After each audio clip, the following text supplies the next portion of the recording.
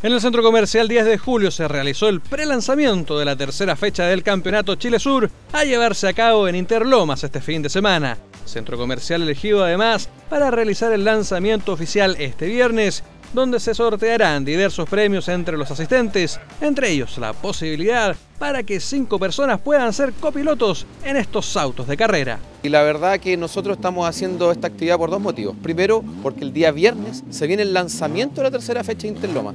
Eso va a consistir que se va a hacer unos sorteos, se va también a mostrar los vehículos que van a competir en la tercera fecha en el complejo Interlomas. Al mismo tiempo, nosotros como centro comercial tenemos un gran interés en poder darle auge a este tipo de instancias que ocurren acá en la Araucanía, debido a que es importante promocionar el deporte regional. Yo creo que esa es una responsabilidad que tienen las empresas y los centros comerciales, como el caso de nosotros. Diversas categorías y pilotos de todo el sur del país se darán cita este fin de semana en el autódromo.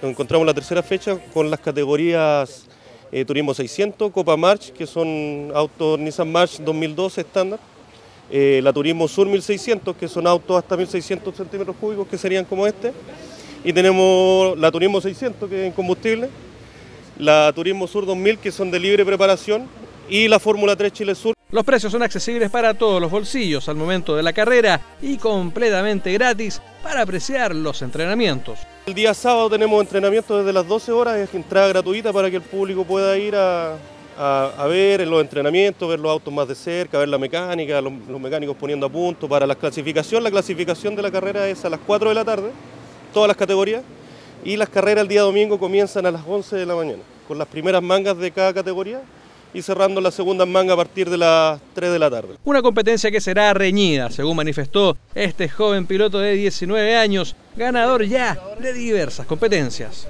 Se viene bastante complicado en realidad porque ahora vienen los Fornan, en unos BMW 2002 antiguos, unos clásicos, vienen unos AX, unos Chevrolet Sonic, y va a estar realmente complicado y van a haber muchos autos. Va a ser buena carrera. Así que va a ser una muy linda carrera.